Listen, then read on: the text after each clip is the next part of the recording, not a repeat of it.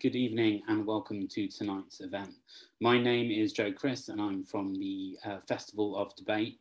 Um, the Festival of Debate is run from Sheffield and is a platform for people to come together to discuss the key social, environmental, political and economical and social uh, issues of the day. Um, all of our online events are, are, free at the point of access, but if you're able to donate to the Festival of Debate and support the work that we do, uh, that would be much appreciated. There is a donate link on the Festival of Debate website, and you can also check out our, our full programme of upcoming events. We've got about uh, three weeks of the festival left to go. I'm very excited to introduce uh, tonight's event, which is titled what has the BBC ever done for us and is run in collaboration with Granville Williams. I'd just like to hand over now to our chair, Granville, if you'd like to turn your video and microphone on. You're muted, Granville, still.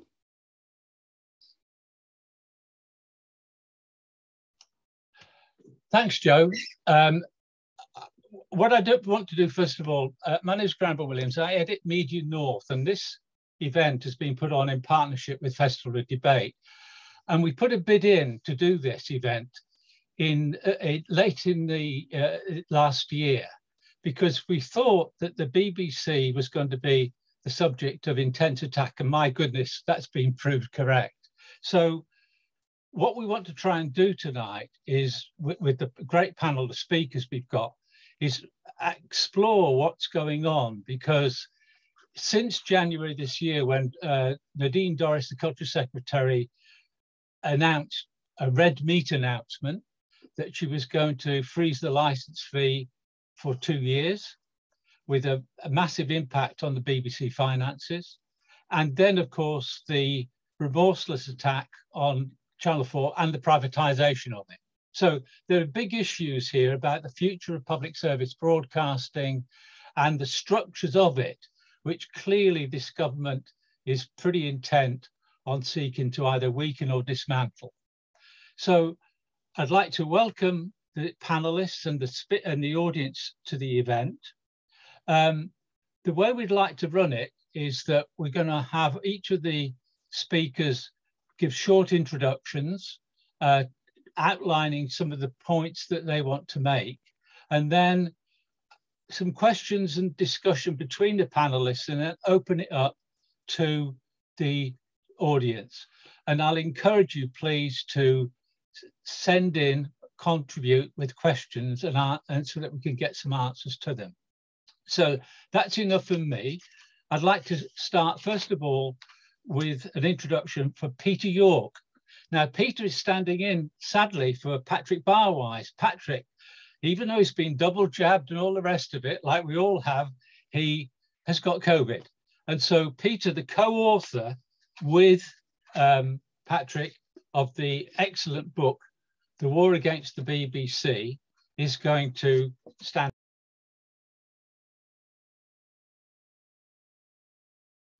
Granville, you're uh, muted again, unfortunately. Oh, sorry. Uh, just a brief word about Peter. He's the president of the Media Society, but many of you will remember him for a book, a best-selling book that he did in the 1980s, the official Sloane Ranger Handbook. So over to you, uh, Peter, to set the scene about what you see as the threats to public service broadcasting as a result of the latest announcements and the previous attacks by the government on the BBC and Channel 4. Over to you.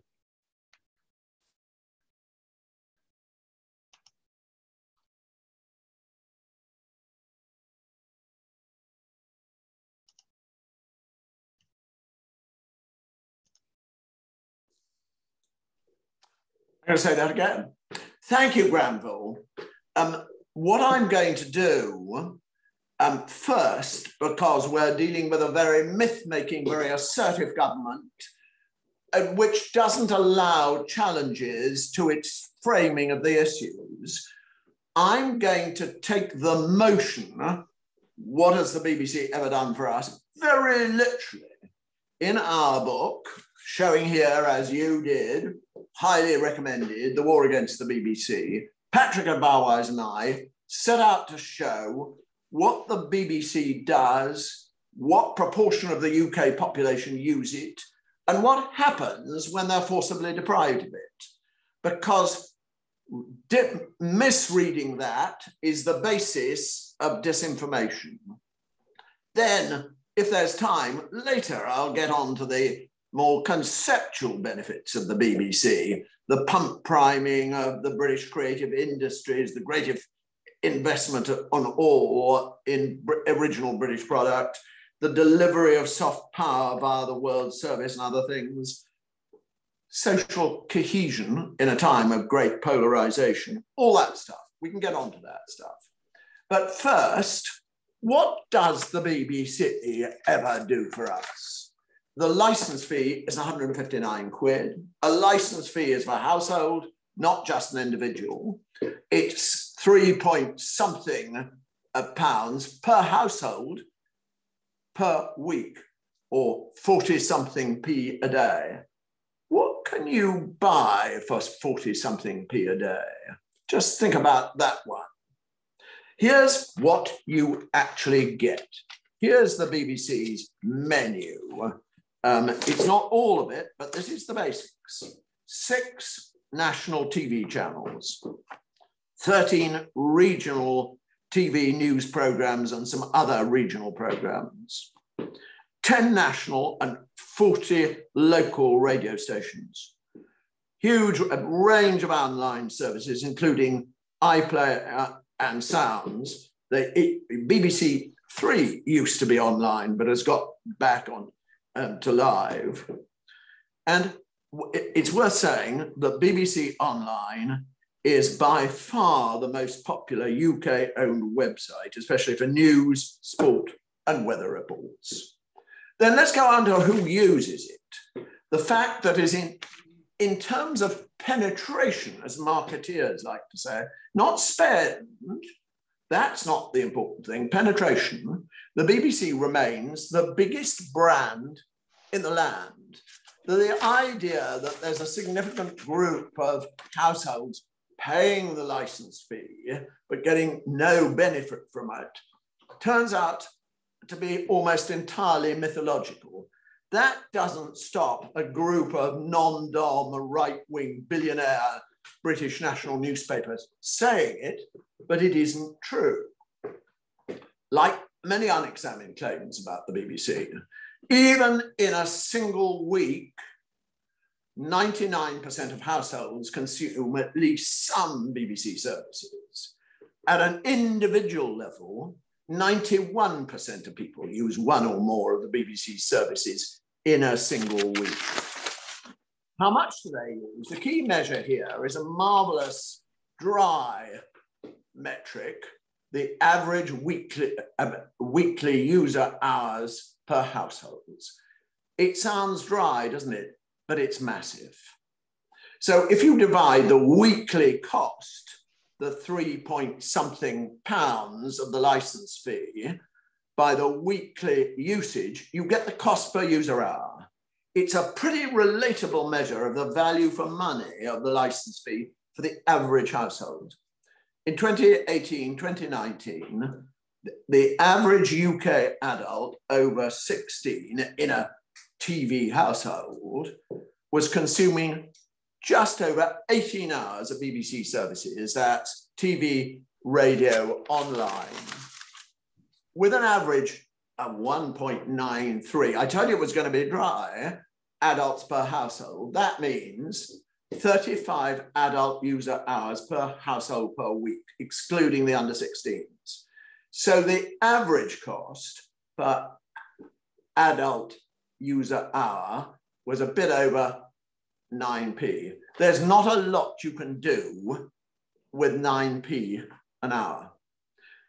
Now, there is a consistent story and a consistent rumble of complaint of people who pay the license fee, but say they'd rather not, who say they don't get value that they recognize from it.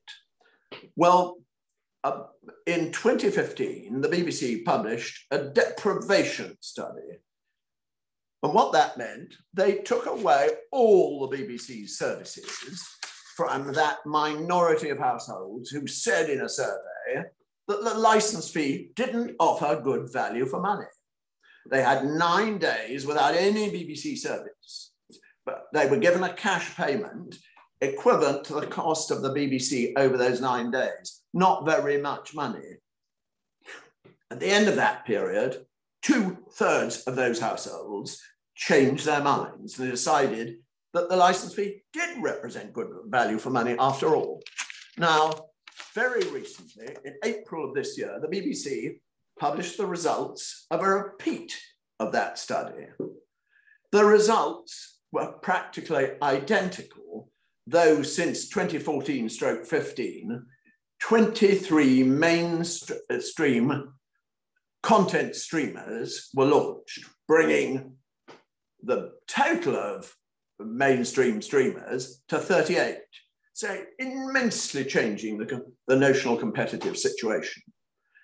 The basics of the BBC are universal. The basics of the BBC should remain universal. It's very impressive. It's very good value for money. There's a huge range of services across the platforms, the nations and the regions. There's a near universal uptake of them amongst UK adults across a given week. And there's a continuing acknowledgement that the license fee really, really is value for money. Comparisons between the BBC and Netflix are utterly dishonest.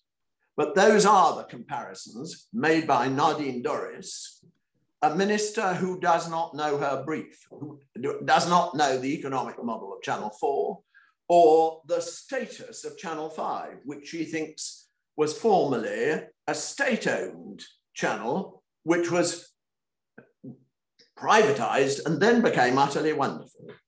Um, I'm not going to go on to the big conceptual stuff. We can come back to that. But the big conceptual benefits, the ones you would have to argue about, um, pump priming of the British creative industries, the greatest investment of all in British, uh, original British television product, the delivery of soft power via the World Service, and social cohesion. You know, during a pandemic, health advice, instant education for your kids, all that sort of thing. Those are the basics of the BBC, and they're staggeringly impressive. We must not lose them.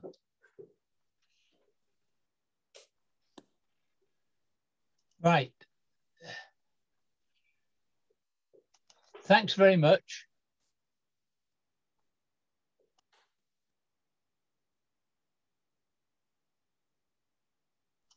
Thanks very much, Peter, for that introduction. Lots of facts and figures there, very important to demolish some of the myths about those that would want to argue for defunding the BBC. Um, I want to move on to our second speaker, Dorothy Byrne. Dorothy has an absolutely distinctive track record working across um, Granada, World in Action, ITV, The Big Story, and of course, as head of news and current affairs at Channel 4. Now, Dorothy is the president of Murray Edwards College in Cambridge. But Dorothy, um, I, I, think, is a, a, good exemplar, if you want, of the kind of uh, public service broadcaster who has seen the value in terms of both the news and documentary and uh, current affairs production and dispatches has been an incredibly important strand in that. So I'd like to hand over now to Dorothy to present her take both on the current situation in terms of broadcasting and maybe to talk particularly about Channel 4. Over to you, Dorothy. Thank you very much indeed, Granville. Uh, Peter has talked in a very convincing way about some of the statistics about how good the BBC is. Uh, the BBC's also got some things about it that aren't so good. And I've been very critical of the BBC at times, and have even, some people will be horrified to know, um, written an article recently in the Daily Mail, no, the Mail on Sunday, criticising um, some of what the BBC did about Martin Bashir. I sometimes think that BBC News is boring and is insufficiently challenging to the establishment. So I don't sit here just going, the BBC's absolutely fantastic. Um, but I think what you have to do is say, well, if you think that, that you have some criticisms of the BBC, what would you do about it? Oh, well, I've got a good idea. You just destroy it. Well, that is not a good thing to do when you're not very happy about something. Now, um, the, Nadine Dorries has said um, that the license fee has been around for 100 years. And I've, I, you hear this a lot, that the license fee and the BBC, the way they've been run has been very similar for a very long period of time, as if this is in itself an argument for getting rid of something. If we thought that, we might get rid of the monarchy, we might get rid of democracy, we might knock down parliament. That isn't a very good argument. But say you did think you should replace the license fee, you would do that in a really thoughtful way. You would first of all work out, well, what are we going to replace it with? And what is really deranged about what's happening at the moment is that it was announced at 2 a.m. in a tweet that the days of the current way of organizing the BBC were up. Um, that and that, you know we were ready to go to a new model, but the whole point is we're not ready. So I do think it's probably a good idea for our society to hold a discussion on have we got the right model for the BBC but you hold the discussion first and you come up with your alternative plan before you announce that this is what you are going to do. That is a really bad way to organize things. So let's look at why we need all this radical action. Why is it that we need to get rid of the license fee and privatize Channel 4? I worked for Channel 4 for more than 20 years, and I've worked in British public service broadcasting for most of my life. During that time, again and again, I have been asked to go to other countries to speak to them about how we got such a brilliantly successful television industry, a television industry that has brought billions into our economy, every industry would want to have been as successful as the television industry has been, but also which has played such a key role in democratic debate in this country. So you have the BBC, ITV, Channel 5, but particularly the BBC and Channel 4, both as truly public service broadcasters, competing with each other to bring you excellent news and current affairs and giving you very different views of the world. Maybe not as different as you might want, but there is a big difference between Channel 4 News and Dispatches and BBC News. And if you take away the license fee at around the same time as you privatize Channel 4. Again, the privatization of Channel 4 being done with no proper thought. You are dismantling an extraordinarily successful broadcasting landscape in this country. Everybody is worried about the lack of interest in British politics and the lack of trust in politicians that concern goes across all political parties.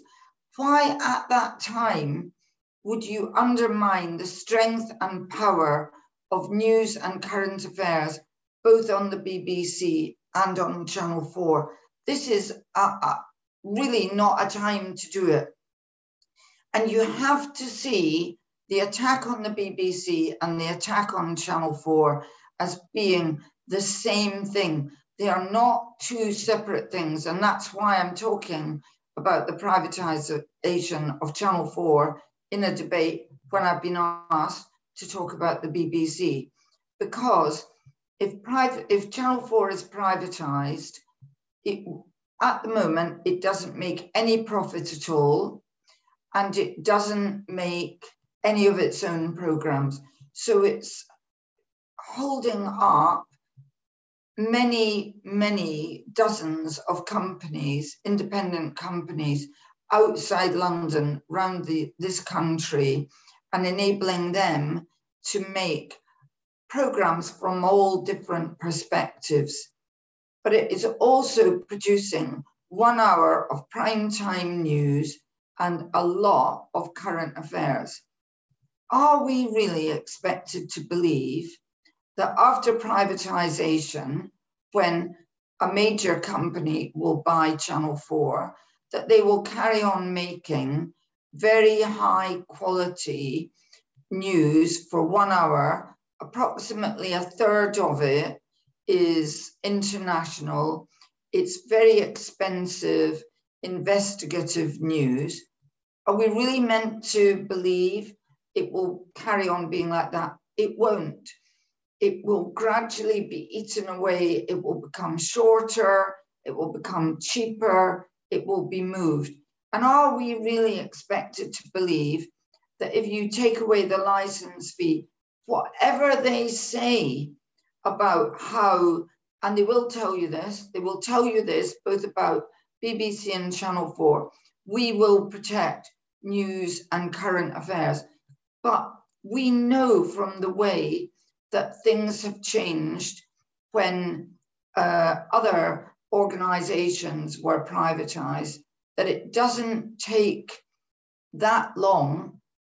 You'd be lucky if it's three years before what these organizations do in the way of news and current affairs is watered down. And they're not just telling you about the world. BBC News and Channel 4 News are key to upholding our democracy. And I think we are all really concerned about democracy and the, the weakness of our democratic debate among some very weak politicians at the moment. And this is not the moment to be undermining democracy further by weakening our brilliant news and current affairs on our public service broadcasters. So, you know, what has the BBC done for you? Well, I'll tell you, it has informed and defended democratic information and debate in this country. Thank you. Thank you ever so much. Thank you ever so much, Dorothy. Uh, and a really good, they're, they're, two, two good speakers to set us off. I want to change tack a little bit. Our next speaker is Paulette Edwards. Paulette is a presenter on the mid-morning uh, program for Radio Sheffield. Um, and before Paulette speaks, I just want to, I was reminded last night, I was at my uh, National Union Journalist branch meeting and we had a guest speaker called Charlotte Leeming. So if you live in the Yorkshire area, you would remember Charlotte. She worked for Look North for 20 years, did great work. When she was talking about her experience and what came across so clearly was that what you get from uh, BBC regional television and from BBC local radio stations like BBC Sheffield or uh, BBC Leeds is a different picture it's a different audience actually often to what we get on our national radio and television and different topics. So I'm delighted to hand over now to Paulette, who's going to present her take on the topics we're discussing tonight. Over to you, Paulette.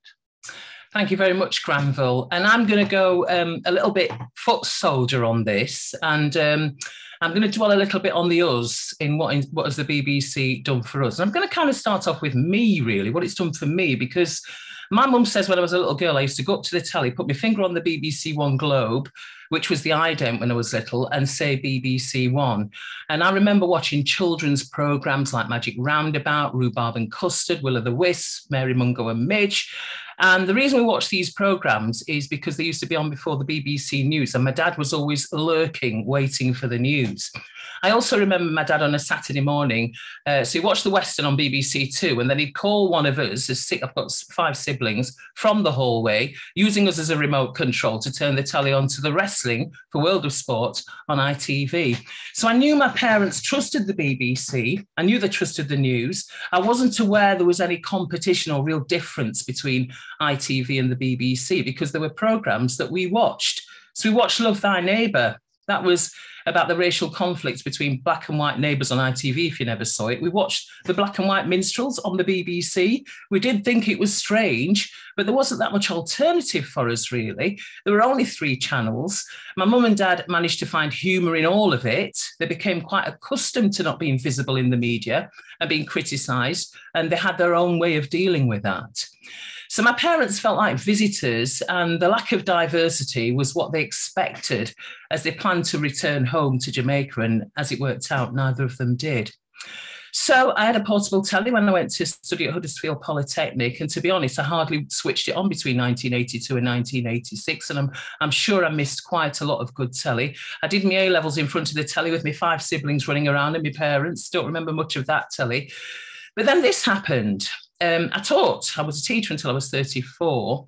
And then I developed um, fluid on the brain. It's called benign intracranial hypertension.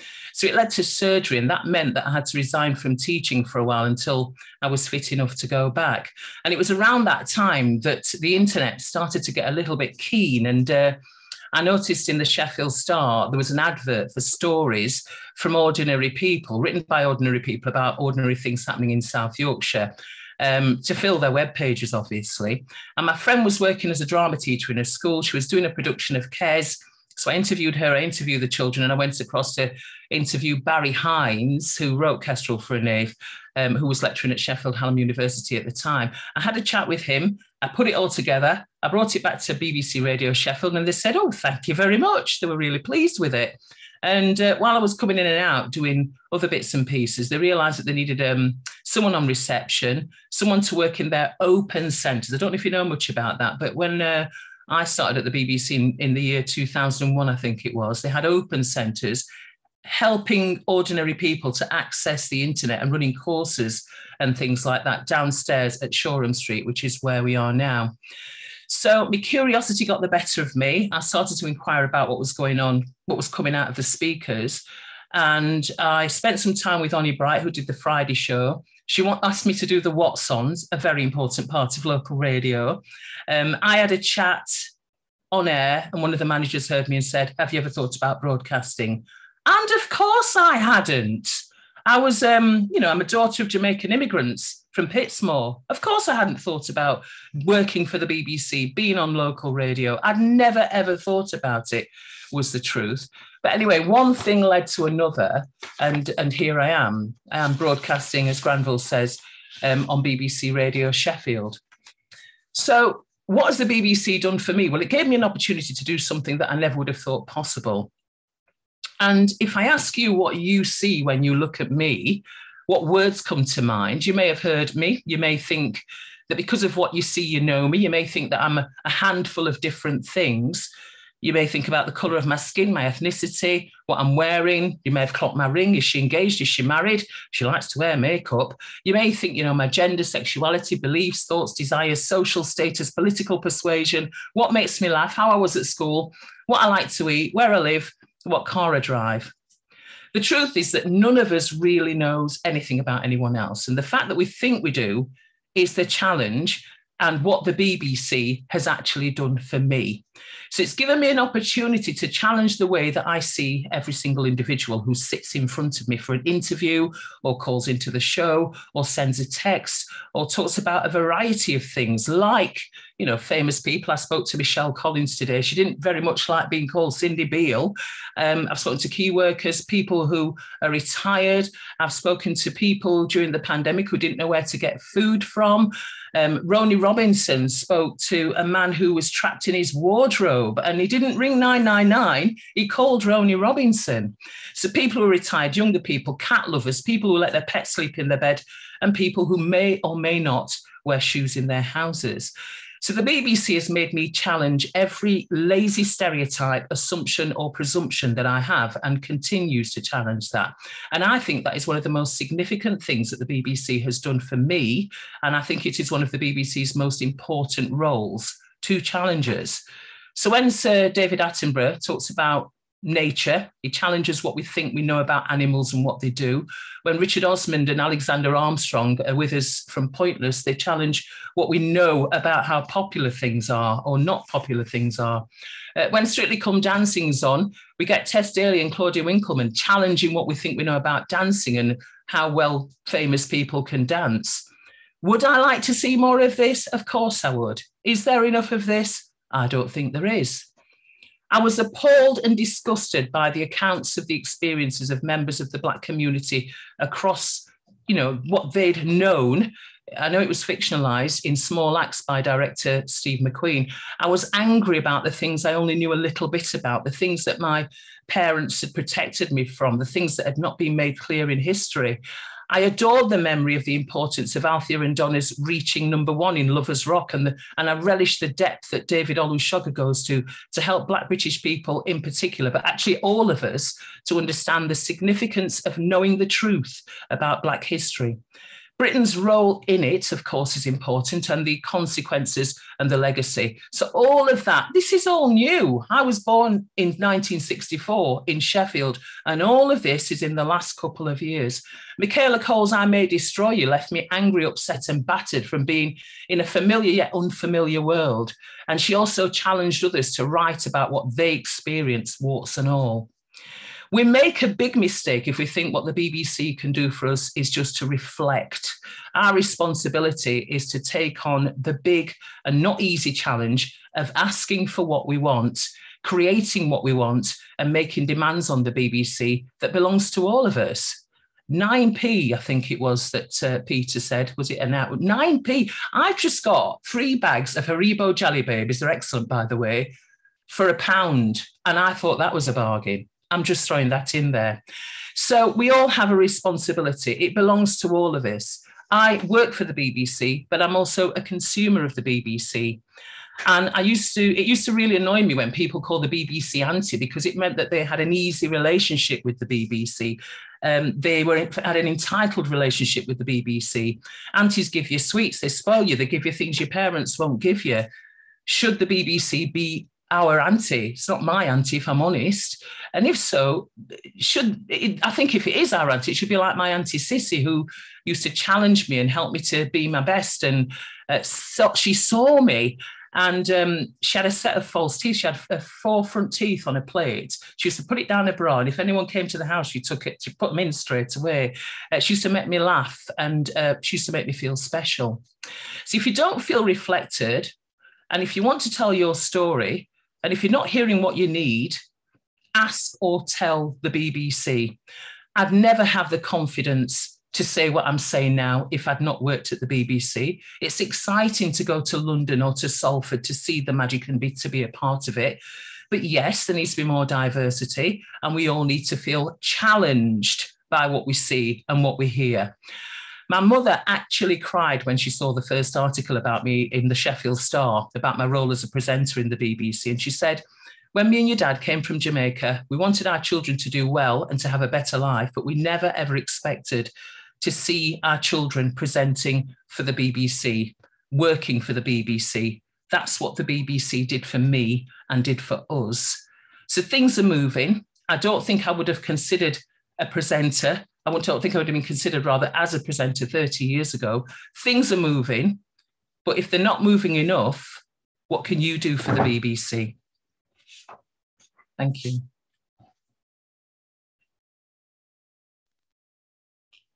Great. Thank you so much, Paulette. Some really interesting points there.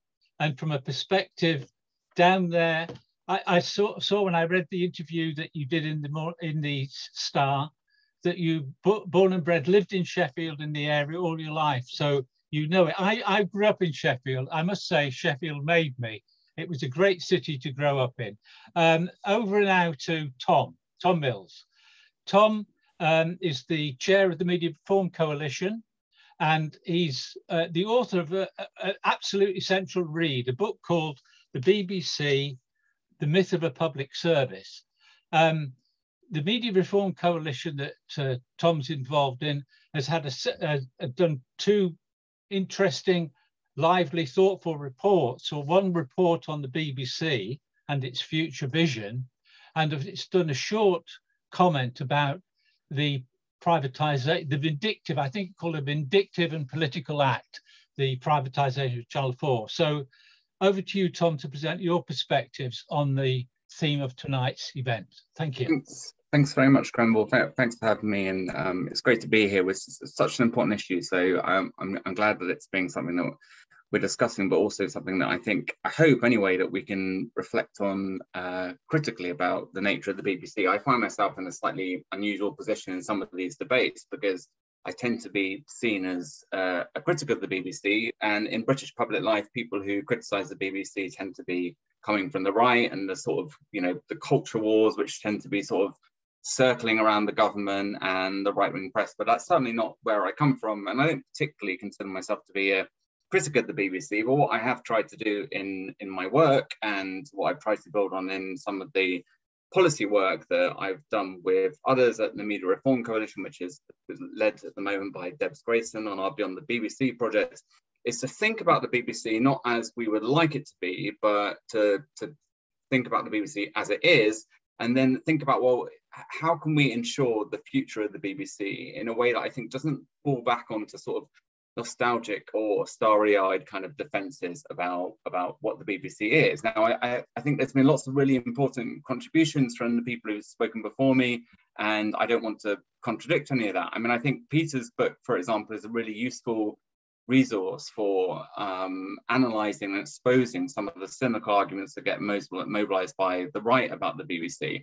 I suppose the sort of plea that I would make to people is that to some extent, though, we don't get too boxed into the details of these particular arguments about the BBC, about the particular programmes it produces, because a lot of that is responding to the sort of noise and nonsense that's coming from the government um, for example, around the cost of the license fee, around these sort of culture war ideas, and as Peter mentioned earlier, some of these comparisons with Netflix, which completely, are completely disingenuous.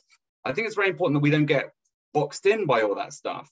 Um, but I think we also need to recognize that we are genuinely going through a period of quite profound change in the structures of the media. And I think we really do need to make a, an urgent intervention there for public media. And I think that has to mean, on the one hand, recognizing all of the benefits of the BBC. It has to be exposing some of the right wing arguments that get mobilized against the BBC. And as I said, I think Peter's book is, is a very useful resource for that.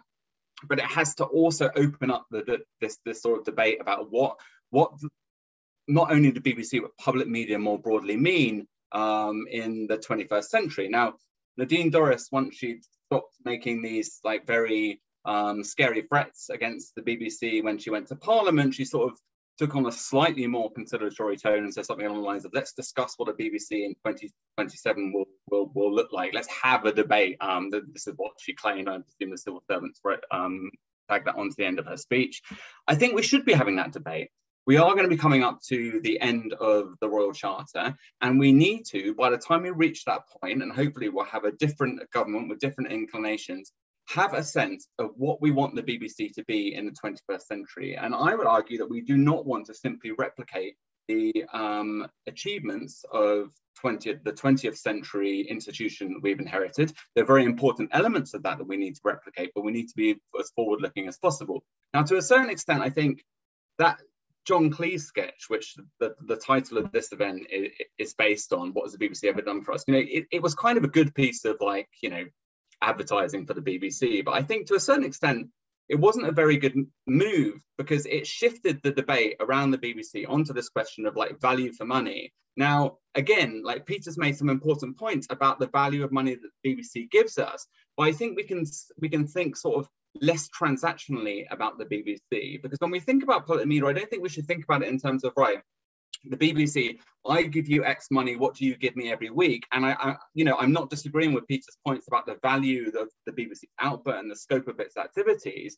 But the problem is, if we start to think transactionally, then we, we start to lose sight of the entire point of public media, which is a point that was actually already been made um, by Dorothy, I think, that it's about having a set of institutions that undergird participation in public life, right? It is, it is about democratic participation, but not about just about formal democratic participation, the sort of Westminster Century reporting we get from the BBC, but the universal access to information and culture that I think undergird social participation. That's the point of public media, right? And that's what we want the BBC to do.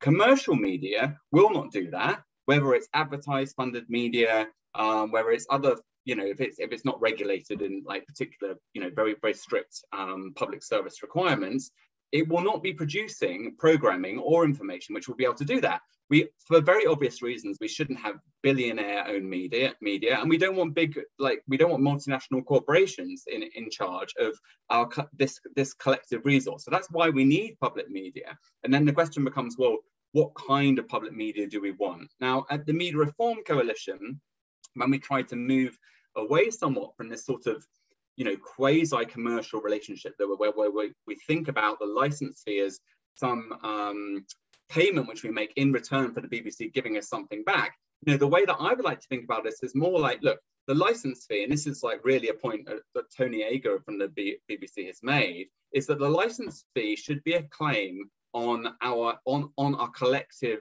um, culture and access to this, this universal resource, right? That it's, it's almost like it has this sort of symbolic role. And the, the way we started to think about this in the Media Reform Coalition is this, with this idea of the media commons. So instead of thinking about the, very narrowly in terms of the BBC, where we like the BBC, what are the BBC's programs like, blah, blah, blah, blah, blah, which just creates all, all of these sort of um, very sort of heated arguments about the institution, we start to think, well, what kind of media do we want to support the kind of society that we need? And I think then we have to think about a public media which is independent, which is accountable, which is democratic, and which is universal. Now, the universe is absolutely crucial because that that's the element of public media which is going to ensure equal participation that's why we can't have any movement towards subscription services now i think quite frankly the government hasn't really thought through what it wants to do with the BBC. And I think th this does create an opening for us. But in terms of independence, in terms of accountability, in terms of like democratic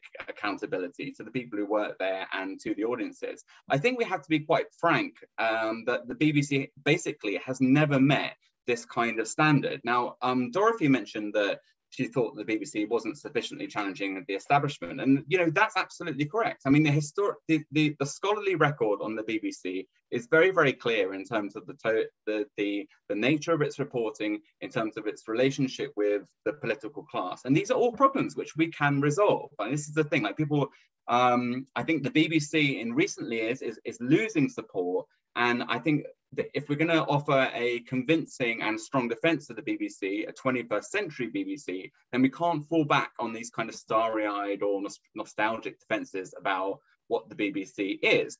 We need to think about its funding model, right? And the government makes this argument about targeting low-income groups, which frankly is an incredible nerve from, from this government. But the reason those kinds of arguments work is that the, the license fee is a regressive tax, right? So we should be honest about that and we should offer new forms of funding. Um, and as Dorothy emphasized, this, this isn't about um, we, these shouldn't be panic responses. This should be considered public debates. I mean, that, that's what's so outrageous about the way the government's been behaving in relation not only to the BBC, but also to Channel 4.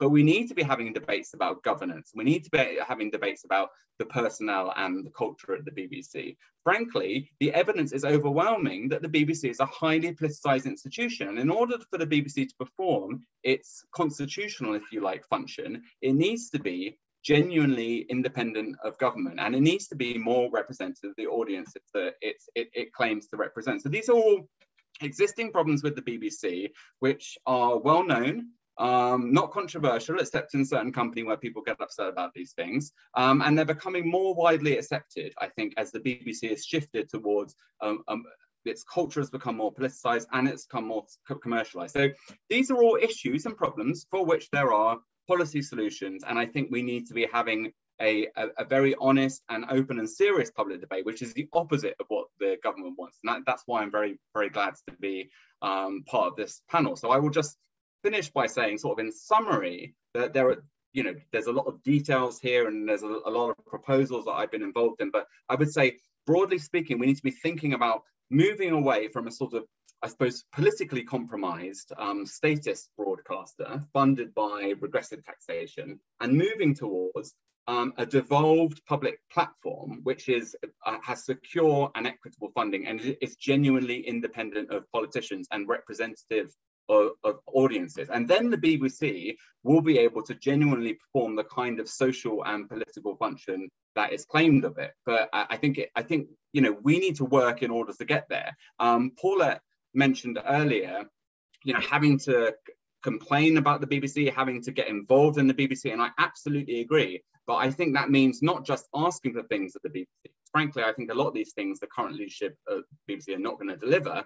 It has to be making ambitious claims on what kind of BBC we want, because as Paulette said, the BBC should belong to us. And that's what's unique about public broadcasting. We have democratic rights to make claims on the BBC. And that also involves, I think, resisting the claims that the government makes on the BBC. So it means defending the BBC and it means imagining what the BBC could could look like um, for the next 50 to 100 years. And that has to be a democratic debate and it can't be something that's just railroaded through um, by a small number of like highly ideological and, and frankly extremely um, reckless figures uh, in Downing Street.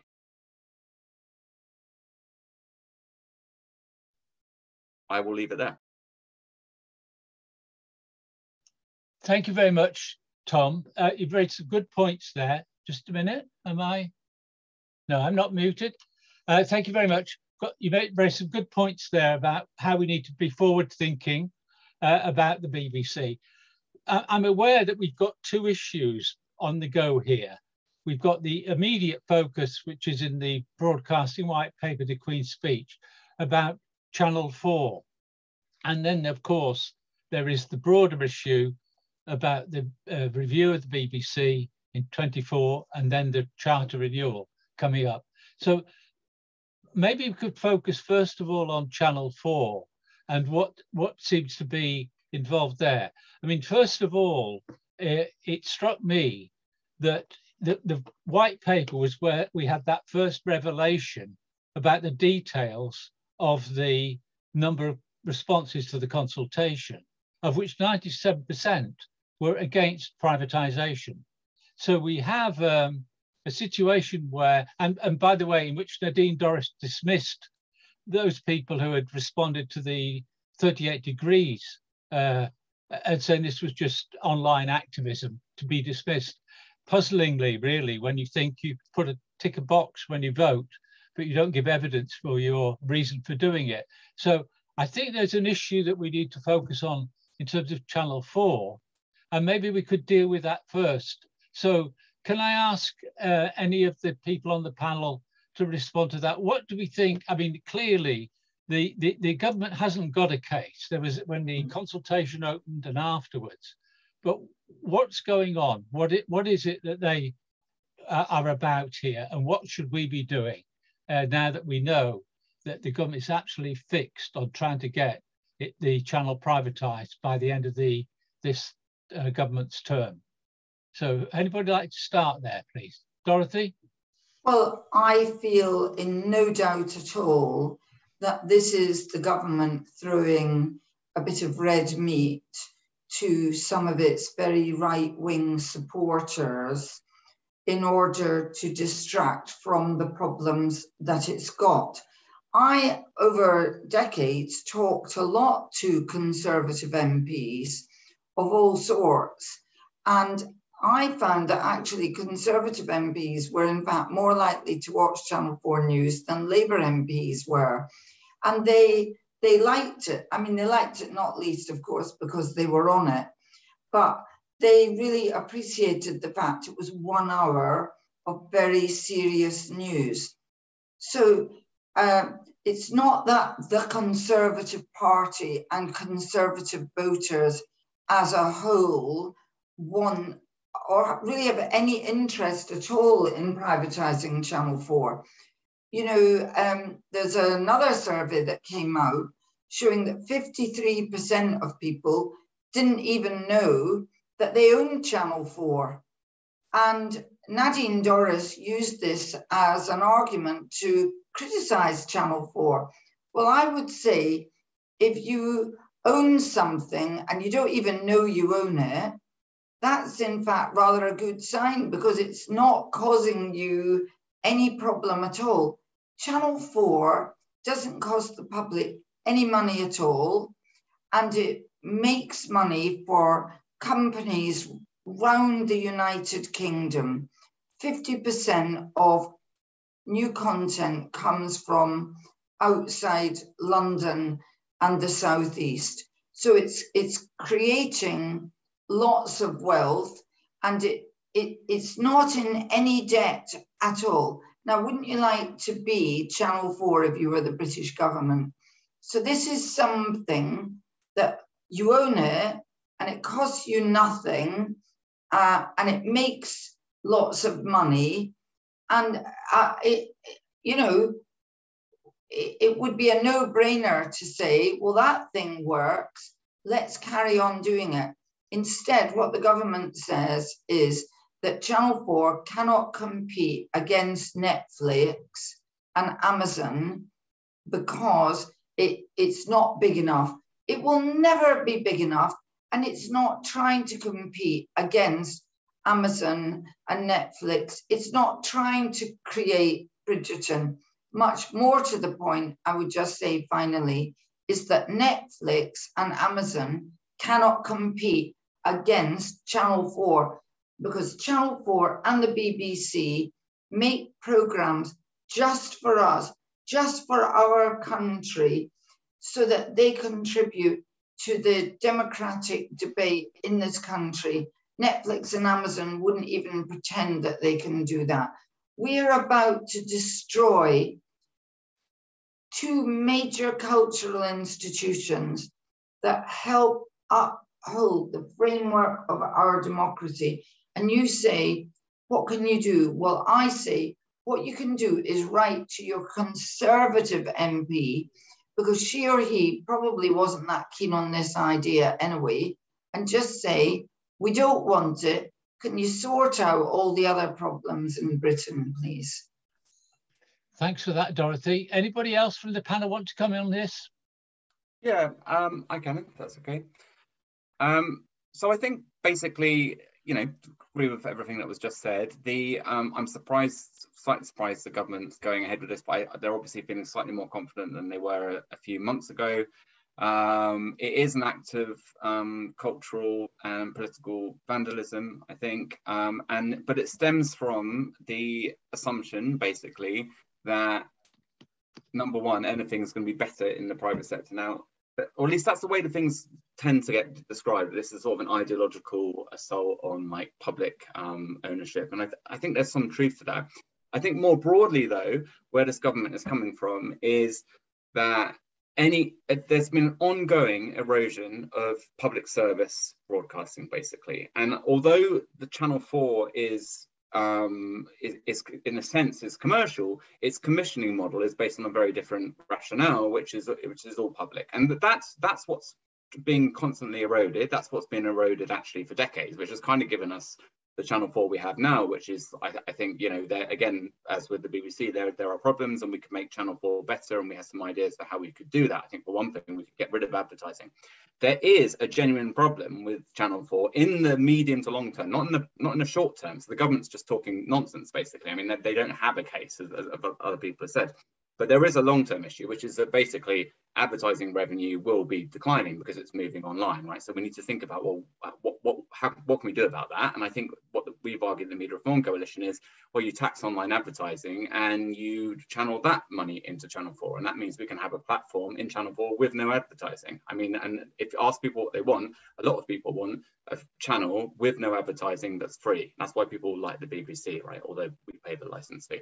So the reason why the, the government's doing this is because there, there's this constant effort to erode the public service requirements, which is what means that the BBC and Channel 4 deliver all the stuff that, that Dorothy just mentioned. And the reason and the reason why net, this comparison with Netflix is just complete nonsense. I mean, like Dorothy said, the Channel 4 is not, it, you know, we're not comparing the same thing here. Like number one, like Netflix, it's got it's an, an international like uh, it's a huge company which has expanded massively, like funded by debt, and it, it, doesn't have any of those public requirements. And that's ultimately what the Conservatives are trying to erode here. And, and as others have said, they just simply don't have any de democratic mandate for it. Unfortunately, that doesn't mean that they won't do it. I mean, look what happened with Royal Mail, for example. You know, they, the, the, the no no um, mandate, no public support, but they drove it through anyway. So I think there is a genuine, there is a genuine threat here. Um, but that's where the government's coming from. You can see it with their, I, I forget what it's called, um, Public Service Broadcasting Advisory Group or something. You know, it's, it's all, it's all um, private sector, big companies that are um, that are driving this stuff. Um, but I should say that most of the industry don't even support it. I mean, that's the crazy thing. Yeah. Okay, I think you want to come in, Peter unmute Peter. Peter. Sorry, Peter, you're uh, muted. You clicked to unmute. Mute. Look, you can hear me now. Yes. Yeah. It's um, it's an international playbook. This. Don't just think of this country. The, the attack on public service broadcasting we can see most clearly in the Orbanization of Hungary's structures. It's a playbook that Steve Bannon takes around the world with the other advice that he gives populists in the making and populist governments. And we know, don't we, that Steve Bannon, because he said so, co wrote our Prime Minister's resignation statement and therefore his application for the top job we have to recognize that across the world, where there is a decline in democracy as, me as um, measured by the Economist, this is part of the deal. You, uh, you attack public service broadcasting. You, you give public service broadcasting and other media into the hands of rich supporters. That's how it works. So it doesn't have to have any logic. You have to, you have to make it very clear what's happening. And what they do all the time, if you, um, if you have a vendetta against a much loved public institution where it's based on ideology, um, cohort greed, and self protection, obviously it's all Dorothy's fault because she said and she said some rather rude things about our prime minister. And if you don't, if you want to protect that, you don't talk about any of those things. You talk about what I call false technological determinism. We love Channel 4, but the way the world is going, Channel 4 uh, is going to uh, be uh, dwarfed by all these huge multi-funded global organizations. Therefore, we have to privatize it.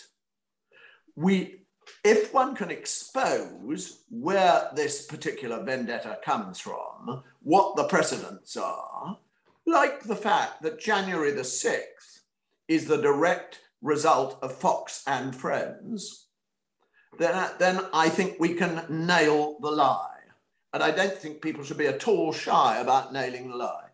I can just add to that. I mean, I think technological determinist arguments, as, as Peter mentioned, you know, these have been going on since the 1980s. I mean, the same group of people with the same, like, the same um, ambitions have been making these same claims that oh the technology is moving in this way it's nothing to do with politics and, and it's, it's just all complete nonsense one thing i would say we do have on our side which is that if the government isn't forced to make it an actual case and defend why it's doing what it's doing then it will just do it you know that's the thing they, they're not it's not like they have a good reason to do it but they will become that's why they become politically weaker if if the the, the case is forced on them. In other words, if they have to justify what they're doing politically and they can see there's a political cost for it, that's that's where they're weakest. So that's when the ideas matter. But I don't think we should be looking at ideas and be like, oh, why are they doing this? And assuming that they, you know, that they've got a clear plan or that they take seriously like the the um, you know, because if you just read the statements that they make, I mean, they're they're so breathtakingly disingenuous. I mean, it, yeah. So I, that's just a sort of word of caution of people who like thinking politically how you deal with this that you know they're, they're not doing this for like rational technocratic reasons but that's why we need to press the case there i think. Um, and they will that will only matter if if they're politically challenged okay. There's a layer of local as well and um, like you were saying um, Tom, you were talking about this whole argument of well, the technology the, the technology has changed, but if we think about the last couple of years and the importance at local radio level and the kind of hand that's been held out to the community, the closer community, and how important that's been, and how, in a sense, it feels as if we went backwards in a sense because of how important that connection was with the community and local radio, then that, then that argument doesn't hold water anyway, does it? Yeah, completely. I mean, if we think about, like, well, look back to the Cairncross review and what's happening with the, with with local journalism, it simply doesn't exist in the commercial sector. And the way that that's been basically resolved by this government is to take some of the license fee and then hand that out to these various kind of failing corporate entities that don't have any interest in providing local journalism. But again, it's a public good that will not be provided by the private sector. That's why you need to have public institutions. So I'm really glad you mentioned local journalism because I think Dorothy also mentioned like local culture earlier, and it's just like they these companies do not have a commercial interest in doing this. So if if if if the requirements are removed, then you just get news deserts. I mean that that's what happens, and that's that's why local journalism is so important. If you ask people what they want, like local journalism is local issues, local journalism is always really high. What what does the market provide? It never provides that. You know, we have this sort of like idea that the markets give people what they want, but they do not. That's the problem. Dorothy? Well, speaking to that point, I started out in regional current affairs at ITV, and ITV still makes brilliant regional news, but it doesn't make all the regional current affairs it used to make. And what happened was that um, when they changed the way that ITV was organized, the new companies that took over all undertook to make uh, really good uh, regional current affairs. It didn't take that long before they were going back and going, We're a commercial organization. How can you expect us to make regional current affairs? And that, that the, the regulator and the government said, well, that's okay, you don't need to make it anymore. And that is my worry about what is going to happen in these new systems that they will, whatever happens, they will just eat away and eat away at what they have to supply. I should say to Tom, I agree with much of what you say, but it ought to be pointed out that All 4 is the biggest free um, digital service and incredibly popular with young people in this country. And its percentage of advertising is going up remarkably. And it's now actually a significant percentage of Channel 4's overall income. I, do, I actually don't think that Channel 4 should give up having advertising. I think it was a brilliant idea of a conservative government to have a channel where independent companies make the programs and uh, the funding of it comes from advertising. So it doesn't cost me any money, but because the public owns it, it's protected. Okay. Can I just briefly well, I, I, very quickly, because I'd like to move on. Yeah, sure. Um, okay, I, I, I, think the original model, um, what made Channel 4 good, good wasn't that, was that it was taking money from the ITV companies that originally sold the advertising, right? So that shifted under the 1990 Broadcasting Act. So what was good about that was it had the sort of firewall between the advertising and the commissioning. What I'm saying is we, we don't need to take public money. We could just take money from online advertising from a levy in the same way as it was funded by the ITV companies initially. So it's basically closer to the original model. But I, am I'm, I'm not saying you you know th- th- this is this would be my my preference. And I think some of the commercialization of Channel 4, which happened around the same time as what, what you mentioned with the ITV companies, unfortunately, has been this sort of creeping commercialization. And I think I think we can address that. Okay, I, I think we've given a fair uh, crack to Channel 4. Um, can I encourage people? I'm just looking to send in some questions, please, so that we can begin to fire them at the panel. I just wanted to move on a bit now to the whole question of the BBC, because clearly what Peter was talking about was the evidence for the BBC and its popularity and its diversity and its value for money of the license fee now. Um, but clearly, there, there is going to be a quite a fundamental debate about what happens to the BBC. And it's absolutely um, clear as well that the license fee, because of the way the government can use it and has used it as a way to strangle the BBC. I think in the book, you, Peter and Patrick, you talk about a 30% cut in real terms of the license fee since 2010. And what Nadine Dorries did when she simply threw, as Doris said, the red meat freezer license fee for two years, this was simply another quite blatant uh, way of um, almost battering the BBC. So I think we do need to look um, to the future. I, just, just one plug. Uh, Media North has just done a pamphlet called Uncertain Future, Why the BBC Must Survive. Uh, we'll put it on the chat how you can get hold of a copy, because a lot of the points that have been made about the BBC in terms of its lack of transparency and in terms of some of its vulnerability to political pressure in the way it's reported news, we try and cover these there. So can we move on just very quickly to look at some just one or two key points that we need to be focusing on in terms of what do we do to, if you want, put forward proposals which will seek to defend the solid structures, the political and sort of structures with it, within the BBC, public service broadcasting. In other words, doing try to avoid the kind of political pressures and create some kind of independence for the BBC, both in terms of its financing, but also in terms of the way it operates on a day-to-day -day basis. Can I ask somebody to start off with that one, please?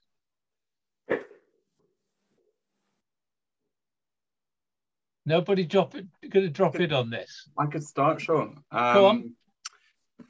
I mean, I, I, think number one, I mean, I've mentioned this, but made a lot of the points already in my initial remarks. I, I think the um, the control that the government has, the influence, is a better word than control, uh, over, over the BBC is problematic. I think we need to recognise that. As I said, it's relatively uncontroversial now, but the to but there was a point at which you know mentioning this stuff was perhaps less obvious. But I think we've gone through several charter renewals and license fee um, settlements which were secretive and which were overtly punitive politically, which has made the stakes very very clear. So therefore. We, what I have advocated, what we've advocated in the Media Reform Coalition, is you get rid of any government's powers of, appointment, of appointments over these organisations. You need to have a genuinely independent broadcaster, both in terms of its funding, in terms of its governance, um, in terms of its broader culture. Now, I would like to see a much broader um, shift at the BBC as well, away from the sort of London centric elite and to be more devolved. Because at the moment, what you've got is all the resources at the centre, which is sort of tied up with these like uh you know with the sort of london based elite and by which i mean like the politicians and the business interests and the rest of it they're all in their closed westminster conversation. And what the bbc should be doing which is what everybody's been saying in in this panel is it should be helping us understand the society of which we're part and our place in the world. That's what it should be doing, not reporting to us what politicians say. So it needs to be made more independent of um, government because it's that it's at that core of the BBC, that politicized core, where you get the sort of small c conservatism, where it's very difficult to for its perform its role. And then when you get out to the um, sort of peripheries of the BBC, like in local radio and stuff like that, um, you get much higher levels of independence, but then lower resources. So that, that's the problem. I think you need to have a sort of, if you like, a leveling out of the BBC as an organization. Sorry to use a horrible political cliche. Um, so the BBC needs to be independent, and I think it needs to be more devolved, and it needs to explore ways of um, developing more interactive, democratic um, relationships with with the audience it represents. Because naturally, if you take away the forms of like formal political accountability to the to the state and make the BBC more independent, then you need to engender alternative forms of of accountability, and that's important for BBC's legitimacy, but it's just important for how the BBC does its job. Like, you know, people aren't going to magically at the BBC know how to cover X, Y, or Z. You need to be having these kinds of dialogues. Those dialogues at the moment tend to be in very sort of narrow spaces, so we need to open all of that up. Okay. I think the BBC has to be saved first. We have to recognize quite how urgent this is, quite what a head of steam this particular populist conservative government has built behind it and their capability of doing what they want, even though it makes no sense at all. That doesn't matter. This is a grand project which has to be derailed. And in seeking to derail it, we must make the explanations very, very clear. We can't do 10 things at a time. You can't reform the BBC if it's not there. And I think the fundamental reform that matters above all else is to um, unlock, make the BBC politician proof and unlock its practices and its planning from any government. And that's, a, that's a, an appeal that you can make very simply at, at one go. It, what's happened has been secretive, as Tom says, and it's been punitive. And we must point this out. But how exactly to develop it thereafter, I think, is something you have to stage. You people aren't policy wonks. People aren't broadcasting policy wonks. They're very distracted at the moment. Yeah. That is why this government thinks it can do what it wants because people are distracted and because, um, as we've heard, it's red, um, it's red meat for uh, it, uh, the, their own more head banging backbenchers. So very simple messages need to go out very simple kinds of myth busting needs to be done about the BBC. There is a problem in doing that. Uh, first, the fact that national newspapers, as the MRC has pointed out, um, uh, are overwhelmingly um, BBC hostile. We're talking about eight, something like 80% of British national newspapers by print sales are right a, a conservative, right supporting, billionaire owned. Um, and it's very difficult to get those arguments into those papers ever. We've seen the headlines in the mail. Okay. So other, other campaigning has to be done now. It's really urgent. Okay, Paul, well, do you want to come in? For me, the issue is engagement. Full stop. As you as you were saying, as you said there, Peter, people are distracted and yeah. it is easy to sneak things in. It is easy to go, you know, we were talking about it today and we were talking about the fact that um, I think there were, it was something like there were less, what was it? A ridiculous statistic, like 80% of people did not vote in the mayoral, the regional elections for the, for, for yeah. the, the mayor. And people are just like, you know what, we've had a tough time, we've been through a pandemic, you know, I'm looking over here. And I think it, the, the challenge at the moment is engagement in any shape or form. So for me, the big question is how? How are you going to do it? How are you going to say, this is what's happening, this is what could happen? How are you going to get that message across? I think that's the biggest challenge that anyone faces at the moment?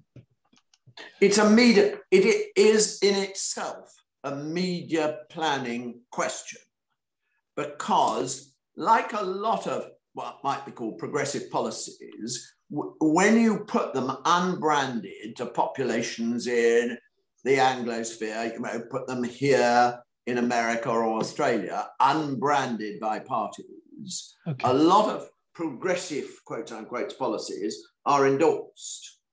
When you put them into the current media structures with brands attached, then they can be reframed in negative ways. So we need to uh, we need to work out how, in, in media terms, to put these arguments across and okay. how to broaden them out. Who's right. important as well? Who has the discussion? Who's bringing yeah. these to the fore? I think that's crucial as well. Transparency, I hate that word, but absolutely vital to okay. this. Right, Dorothy, the, briefly. Been, okay, Dorothy, briefly, and then uh, I'd like to open it up to the audience. Uh, well, I have taken part in several debates about the BBC and about Channel 4. And the problem is, it's a group of people all speaking to each other who agree yep. with each other because they can't get that message out there anywhere else. A thing that we have not said sufficiently is the total campaign of war against the BBC in right wing newspapers. I mean, sometimes it's daily, and they're absolutely spurious attacks on things that the BBC has allegedly done that are um, apparently absolutely awful and left wing and etc. Uh, so when we have to think, how do we move out from this group of us sitting yeah. here out into the public domain who is going to help finance that when we don't have access to those right wing newspapers? Okay, well, we've got here a question from Judith Rowley. How do we get the government to engage in the debate? They simply ignore opposition and carry on as if they had full support. Well, it's clear from the Channel 4 uh, privatisation consultation they didn't and they ignored it. But that's that's a question to start with. Who wants to pick that one up first? Well, I think you know the government has to go through legislative processes, and when they do that, they have to they're forced to justify some of the stuff that they're doing. They will you have to you have to have parliamentary opposition, and then you have to have, of course, pop, popular sorts of campaigns and mobilizations that we've just discussed. I mean, I think to an extent that has to be the kinds of pressure that people then put the sort of political elites, if you like, under um, in terms of getting them to push back on the stuff which isn't popular. Because uh, as Peter said, things don't have to be popular to work them way through the kinds of political systems that we have. It, it re relies on us being able to mobilize and make key political interventions. Now, at the Media Reform Coalition, you know, we're trying to develop relationships and campaigns with other organizations which can be able to, to take the conversation out where out there and outside of those sort of policy circles which have been discussed. The only thing I would add to what's been said before is I, I think we might be letting the um, politicians a little bit off the hook here. I mean, like Labour's been completely asleep at on this. Yeah. I mean, yeah, when, yeah. you know, and in terms of like people being concerned about these issues, if you put uh, more of a positive offering in front of people and Labour could get on the front foot, things might be a little bit different. But all that happens is the government says X, Y, or Z, and then Labour makes some statement of, oh, we don't agree with this. And then uh, that, that's not going to drive any news agenda. It's not going to inspire any public debate mm-hmm.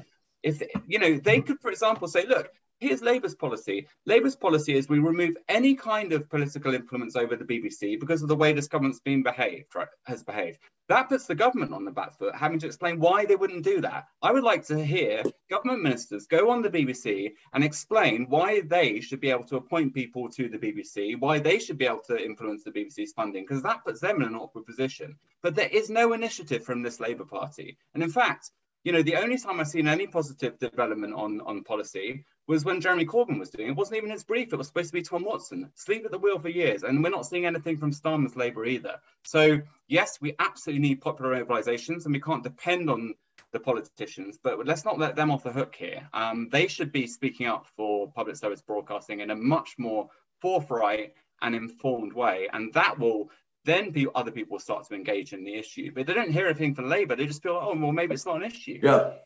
Right. Okay. Any other quick responses and move on to another question? Anybody else on that point? No? Okay, let me move on to this. This is a question from Scott Dart. And it linked in, into in, uh, one, one way. Uh, Scott Dart would love to see Channel 4 do the news in a totally different way and not even interview politicians. There seems very little merit in it. They're trying to obfuscate, so interview people who can actually discuss the issues in a way that informs rather than entertains with vacuous conflict. Is that not the P public service broadcasting remit? I mean, there's a fair point there, isn't there, about the well, fact can that. I just say, a lot of the time, politicians won't go on Channel 4 News. Uh, I, I, I mean, we, we don't even get their vacuity. But I think the problem with that point is when members of the public don't see politicians uh, challenged, first of all, they don't hear that challenging debate. But actually, the effect of not seeing them is that they think that the news is biased. And I, I have regularly had to respond to people who have said, you're biased because you don't put Boris Johnson on the television, when in fact, it was that Boris Johnson wouldn't go on the television. So, I mean, we must see our politicians challenged. And it's a point made by me and many others in the past, Margaret Thatcher, Tony Blair, even, you name them, they went on TV for lengthy interviews to be challenged. And we don't see that anymore. We just see these short photo opportunities.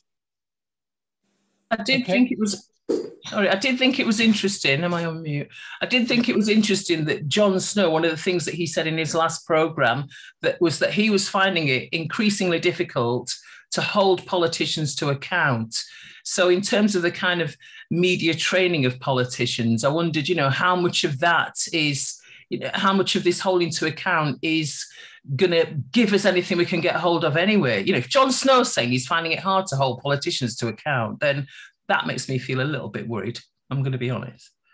One, one advantage of that is that the public have now got their eyes and ears in to a media trained politician uh, who deals in roundabout assertions and evasions and so on. You can recognize it a mile off. Mm. I think the problem about dealing with politics is that right across the board, the news organizations have subscribed to the idea that politics is only about politicians.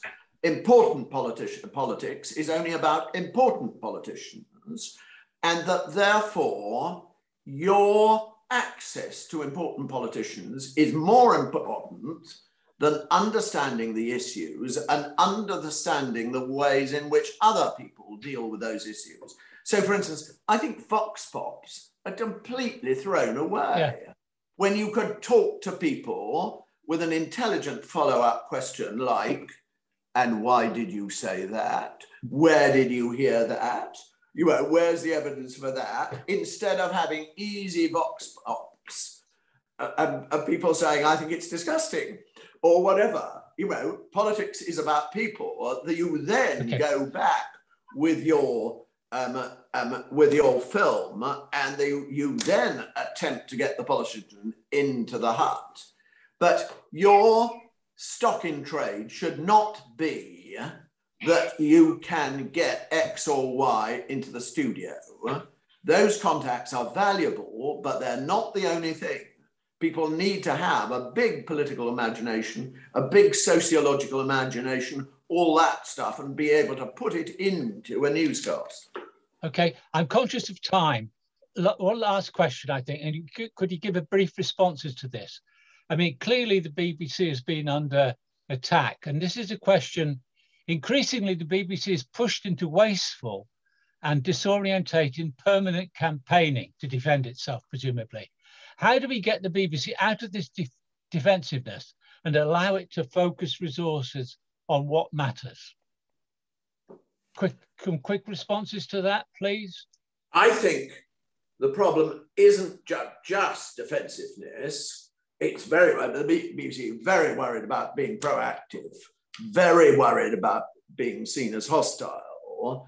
But the fact is, it thinks in a rather a mechanistic way, if you can demonstrate that you are good boys, then in the ostensible terms that the government has set, then you're off the hook.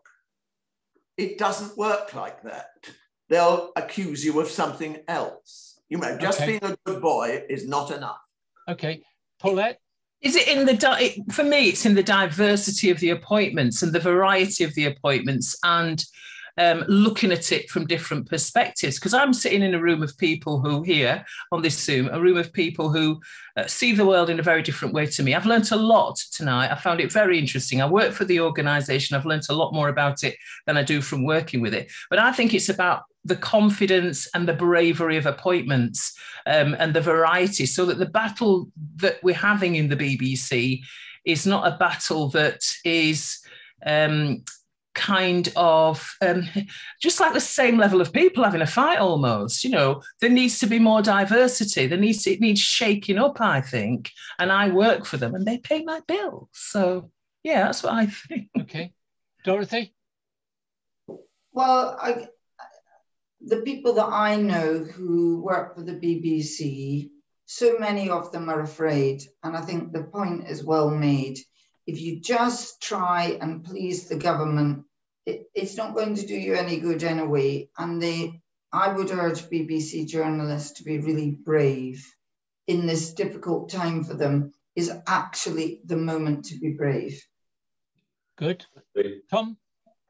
Yeah, I mean, I, I, agree with that. The, the only thing I would say is that they, the inclination of the BBC leadership has never been to be brave. Uh, that's just not how they operate. They've always been like this. They've always been quite pathetic in the face of governments. And it's not just that they're pathetic people. It's it's it's built into the structure of the BBC. The people at the top have know that they have to go back to these people and ask for money. They know they have to go back and ask for a royal charter and so on and so on. So that's why I think it's useful for people who are outside of the BBC to be making these arguments because frankly we're we're now relying on people who are appointed by the government who are politically aligned to the government to be making arguments against the government and it's very obvious why that's not going to happen so I think uh, yes absolutely everyone who works at the BBC should be brave but we shouldn't be putting it just on people whose jobs are at risk. It should be everybody who like like me who whose job is not threatened by being able to speak out frankly, about the BBC. Um, the reason why they make the arguments they do is, is you know, objectionable, but I'm, I, I think it's it's sort of rational. There are people at the BBC who make much more interesting arguments. They just never air them because they're not the people who work in like corporate policy and PR and the rest of it. So, you know, they have people in research and development. They have lots of interesting people working in journalism. They have people there who are thinking about the future of the license fee. But it's the okay. people who like if you like, manage the relationships with politicians who are call who who earn up two hundred and fifty thousand pounds, who are calling the shots. And I don't think okay. we, should expect too much of those people. Uh, Paulette, do you wanted to come in? I think what I said about um, about variety, um, I think has, as Dorothy and, and Tom mentioned there as well, has the bravery built into that. But I think there's a you know, I was I was quite scared. I mean, even at the level that I'm at, local radio, and I and I had the privilege of presenting Woman's Hour for a couple of days, and um, it, it you felt that you were dealing with something that was enormous, even though you know when I was actually there, the team were great and all of that. But I do think, as you said, that the there's a lot of pressure on people within the BBC, and it needs, like I said before, it belongs to all of us. Um, is it important enough to us? I suppose is the question.